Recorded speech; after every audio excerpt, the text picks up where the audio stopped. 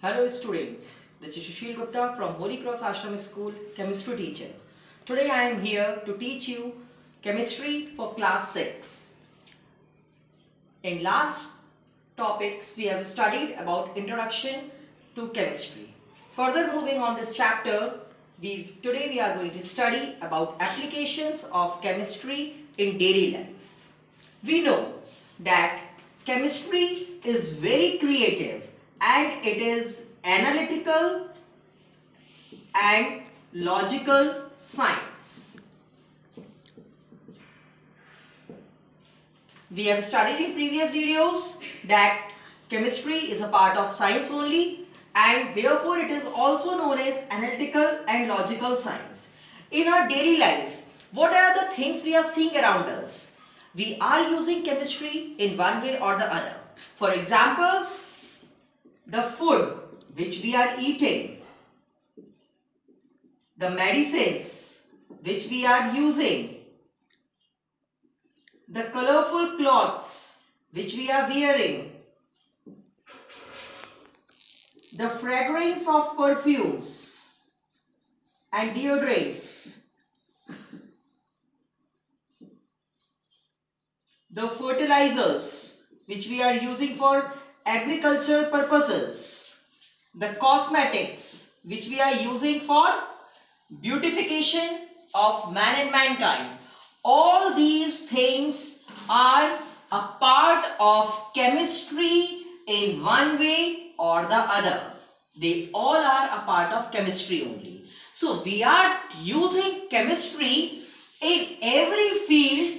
Most of the fields we are using in food, in medicines, in clothes, in perfumes, in deodorants, in fertilizers, in cosmetics, no field is untouched with chemistry. Therefore, it becomes a very important subject to be studied.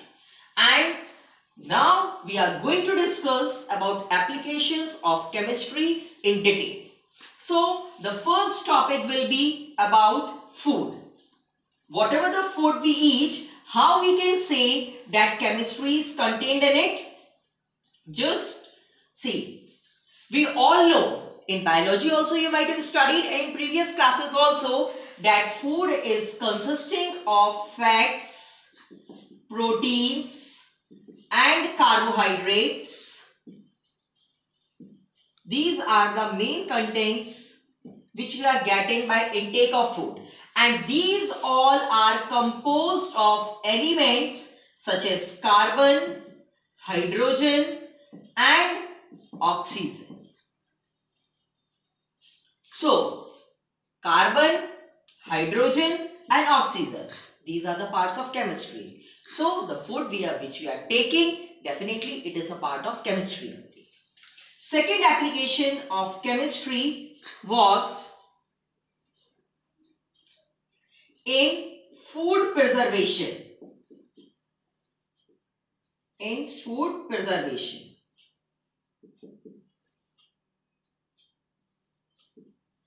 So first of all the question arises that what is the meaning of preservation?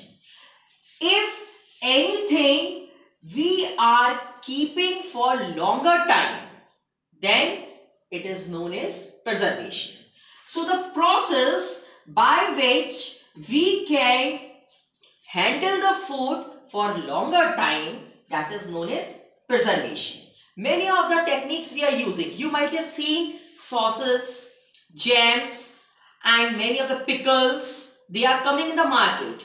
How we are able to keep them for so much long period of time? It is because of the food preservation techniques. So what are the main techniques which we are using for food preservation? First most important technique is refrigeration. We are refrigerating them, keeping them at lower temperature. Second important food preservation technique is pasteurization. Pasteurization.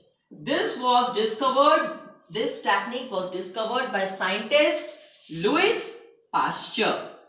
And according to his name only, this technique was named as pasteurization.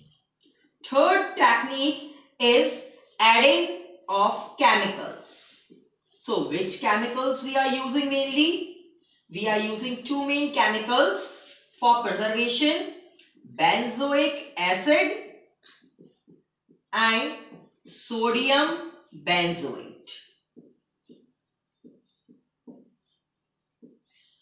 So these are the methods which we are using for saving of food for longer time.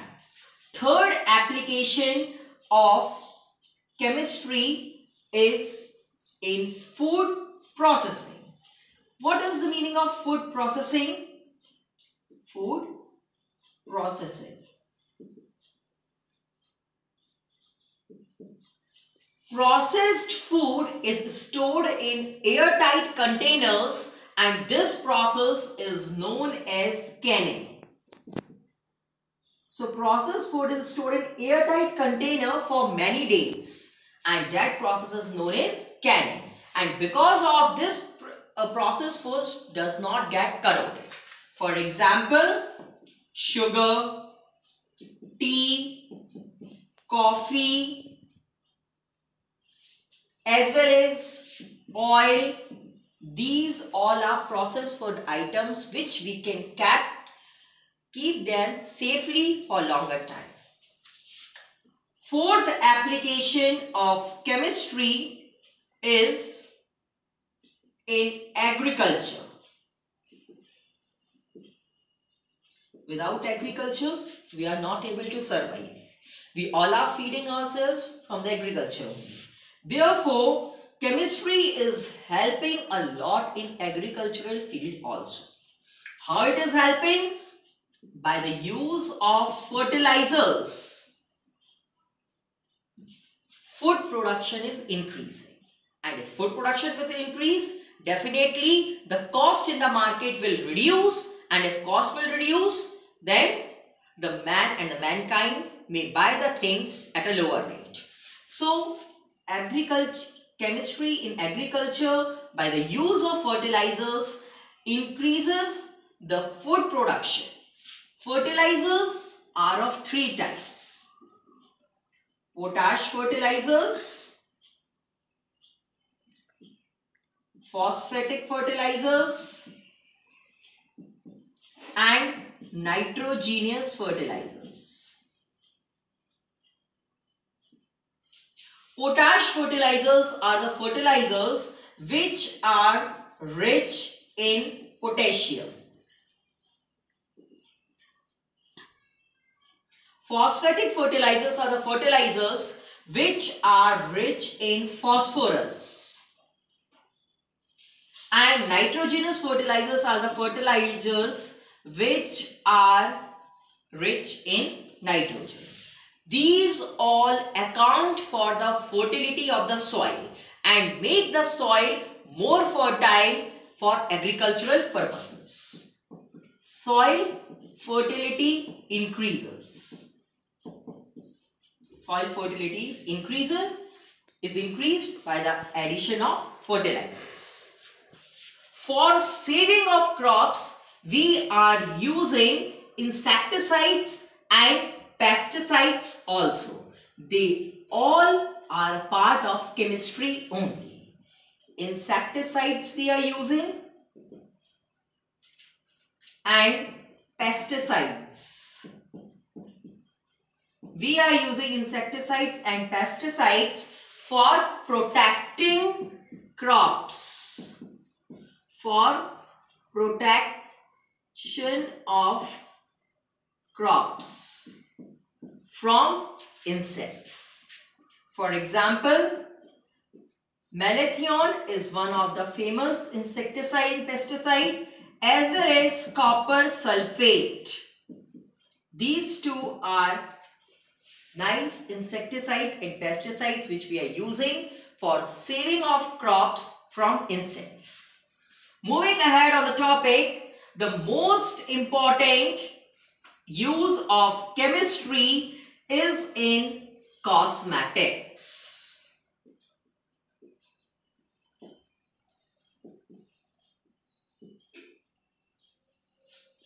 We all are using cosmetics in one way or the other. Definitely beautification is always being liked by human and mankind.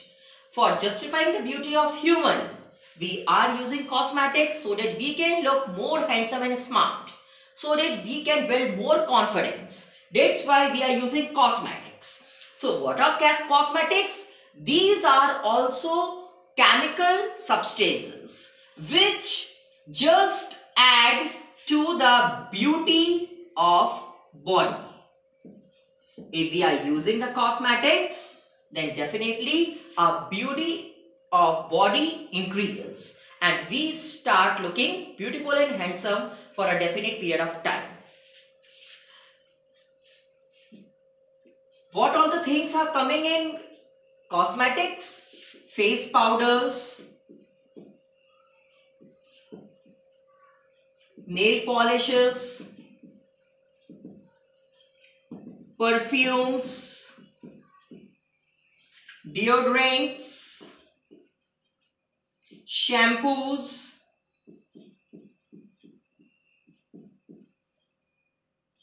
body washes, face wash,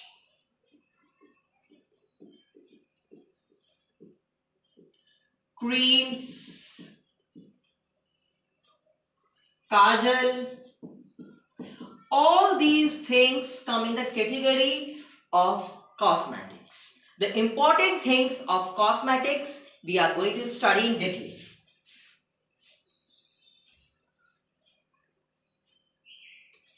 So the first important cosmetics is thickener. For what purpose we are using it? It is used for making skin care products for making of skin care products, we are just using thickeners. Second one is moisturizer. For what purpose moisturizers are used? Moisturizers are used to prevent water loss from the skin. Prevent water loss from skin. Third one are glimmers. Glimmers means shining. So these are the substance which provide sparkling effect or we can say they can provide shining to the skin. Next one are sunscreens. Nowadays it is very common Many of you might be using it also as it is extremely summer. So we all are using sunscreen for protecting ourselves from harmful ultraviolet radiations and sunlight also. And the last one is kajal. It is used for adding beauty to the eyes. Beauty to eyes is added by using kajal. So these are the main applications of chemistry in the field of cosmetics. Now, sixth one where we are using chemistry is in clothing the clothes which we are wearing, they are also a part of chemistry that we have already discussed. Wool, silk, cotton, nylon, rayon, polyester,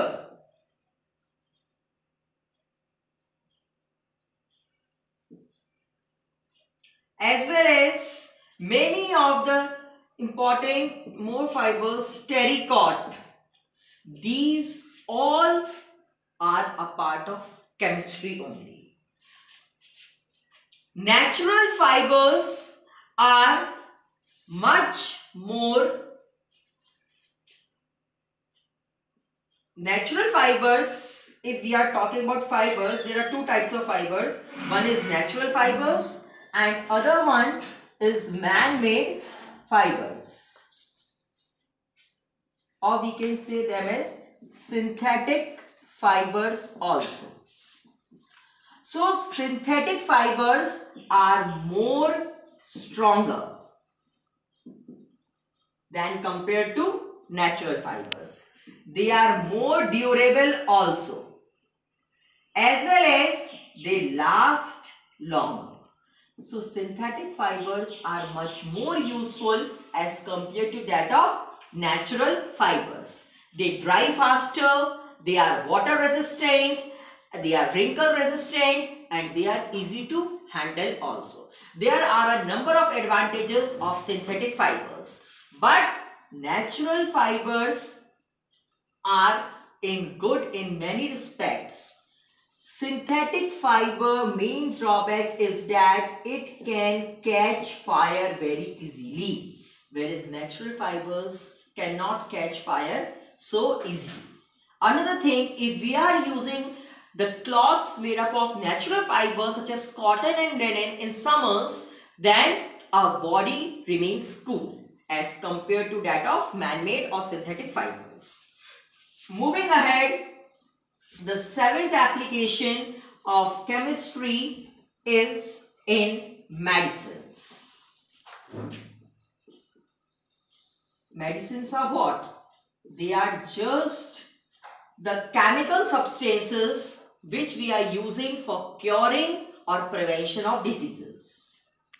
Cure or prevention of diseases we are using medicines. According to their role, medicines are classified into five categories. So first one is antibiotics. So what are antibiotics? They are used for killing bacteria and microorganisms. So these are the chemicals which are used for killing of bacteria and microorganisms. Examples penicillin. It is one of the first developed antibiotic and it was developed by a scientist named Alexander Fleming. Penicillin is not only one antibiotic, it is a group of antibiotics. Second one is analgesics.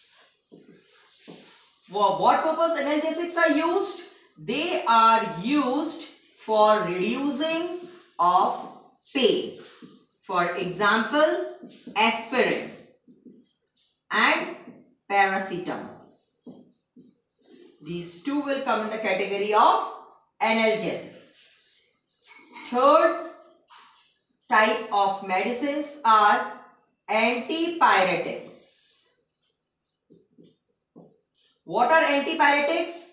They prevent the growth of microorganisms. Prevent growth of microorganism. These are known as Antibiotics. Anti Antibiotics are the medicines which just help to reduce fever. Analgesics to reduce pain and antibiotics are used for the reduction of fever. Examples same aspirin and paracetamol. They can be used as analgesics also and they can be used as antipyretics also.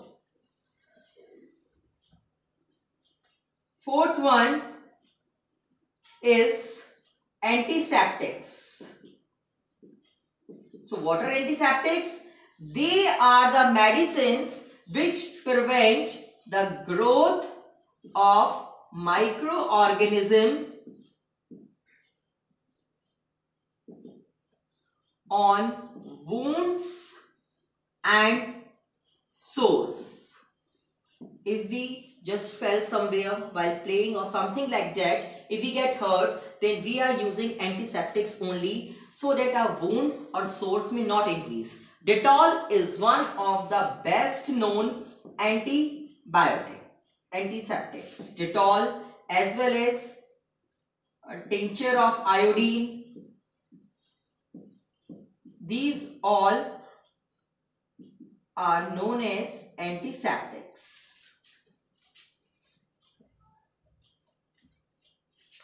Fifth one is antacids. Antacids are the medicines which are used to neutralize the effect of excess acid produced in the stomach. If you eat much more, then what happens? The hydrochloric acid which is present in our stomach begins to produce more. So, in order to reduce that production, what we are, in order to neutralize the effect of excess acid which is produced in the stomach which we are using antacids.